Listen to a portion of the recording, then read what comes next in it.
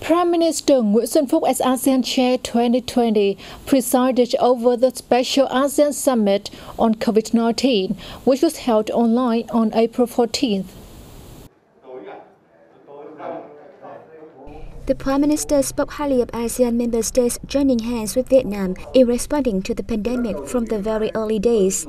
He appreciated the backing of Vietnam's proposals, such as establishing the ASEAN COVID 19 Response Fund, setting up a reserve for medical supplies to meet urgent needs during epidemics, organizing an online drill of defense forces, and setting up a task force of senior ASEAN information officials to combat fake news.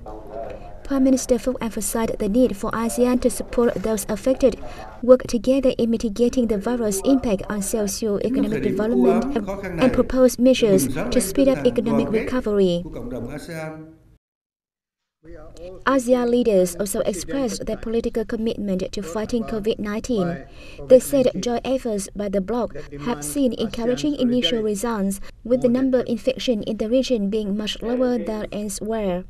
They also affirmed that the top priority of the bloc at this moment is to control and prevent the spread of the disease, in particular tackling cross-border infections. Concluding the teleconference, the leaders adopted the declaration of the Special ASEAN Summit on COVID-19.